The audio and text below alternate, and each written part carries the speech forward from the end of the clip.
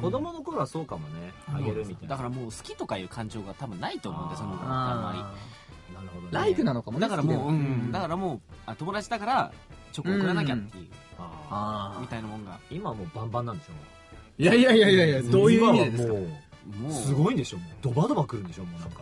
ドバドバ。チョコがドバドバトレーラーみたいなのマーライオンみたいなこんな来たのみたいなそんな感じなんでしょどうせいやいやいやどうそんなもう桜井さんのうん10分桜井さんのの足元にも及ばないいやいやおおじさんはねもうせんべいとかでいいよもうしょっぱい乾きもうしょ物っぺいのがいいなあまた雪の宿とか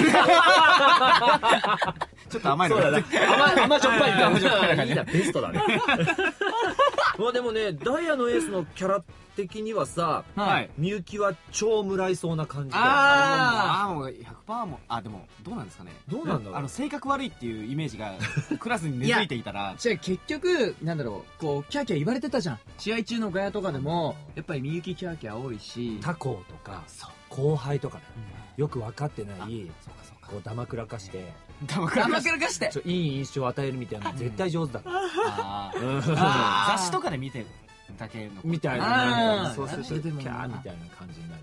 じゃあ学園の子からは全くもらえない。もらえないもらえないです。もう他校からめっちゃ送られてくる。友達あんまいない説がありますもんね。そんなことないよ。それは俺だよお前。いやいやいやいやいやいやいや。何言わせんだよお前。そんな急にぶち上げないでください